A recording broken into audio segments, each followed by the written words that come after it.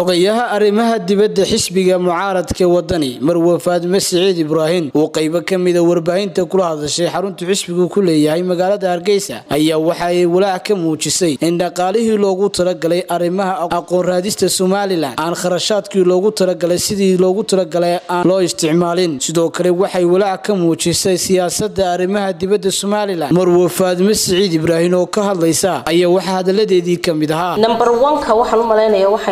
bilaabi doonaa kharashka ku baxa safaaradaha ama qunsuladaha somalilan ee dibadda. Lacagta ku baxdaa waxa weeyaan oo miisaaniyadda ugu jirta waa toban bilyan oo somalilan shilin.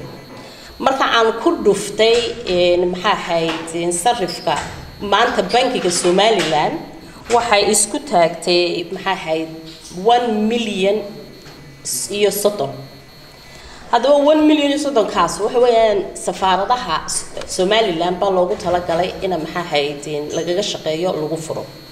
Dabeetana waxaan maxay ahayd ayaamahan oo dhan baaritaan ku jiray bal safaaradaha inoo furan iyo safaaradaha aanay inoo furnayn. Waxaan soo ogaaday inay waddamada aan imika xusi doono inaanay safaaradi ka jirin.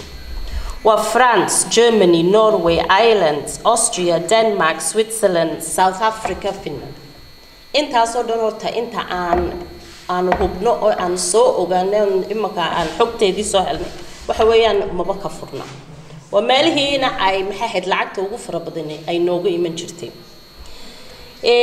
Waxaan haddana eegay bal meelaha ugu habboon waayo safaarad markaynu ka hadlayno waxaynu ka hadlaynaa meesha ama astaanta somalilan ay ku taalo wadankaas markuu qofka ajanabiga uu safaaradda soo booqdo waxa weya qof soo boo soo booqday madaxtooyadii somalilan oo kale.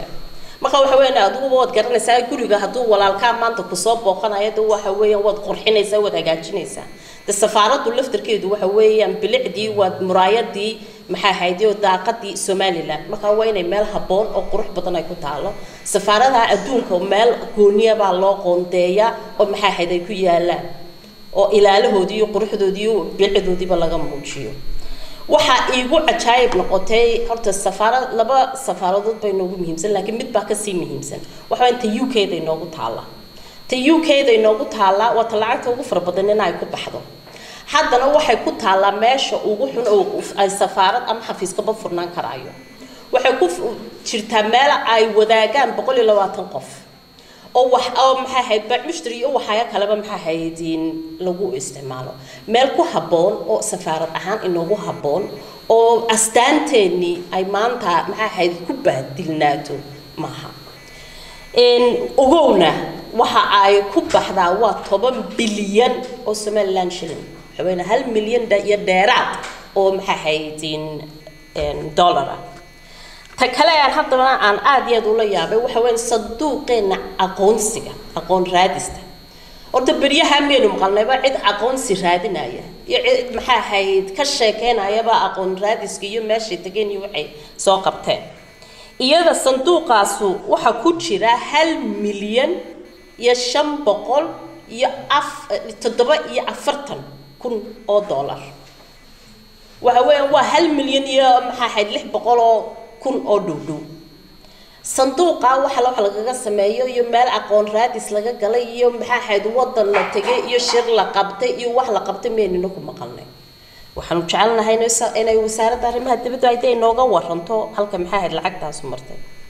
Xabadda saddexaad ee mucjiso igu noqotay waxa weeyaan kaalmada xafiiska qurba joogga iyadana waxaa ku waxaa ku baxa maxaa ahayd lacag laba boqol oo kun oo dhowdhow xafiiska qurba jooggu waxaanu eegnay maxaa ahayd adduunyada halkuu ka furan yahay. Waxaanu eegnay qurba joogga iyo dadka uu la shiro iyo meelaha uu maro waanu la-nahay ma aha yaana la moodayn inaan wadani oo keliya aanu weydiinay dadkii wadani dadkii maxaa ahayd kulmiye dadkii ucid ummadii oo dhan baan weydiin maxaa ahayd muwaadiniinta somaliland dibadda jooga. Qof alla qof ka maxaa ahayd war ka haya xafiiska qurba aana ahayn maalinta qurba jooga somaliland yimaadaan ee dabeetna xafladda cashada loo sameeyo. Waxa markaa maxaa ahayd aanu la yaabanahay maalintii dhaweyd wasiirkii wasiir ku-xigeenkii wasaaradda arrimaha dibadda wuxuu u jawaabay guddoomiyaha cabdiraxmaan ciro. Wuxuu yidhi maxaa ahayd waxba kama oga xafiiska arrimaha dibadda. Xamse jaamac xuseen xamse awowo star t v hargeysa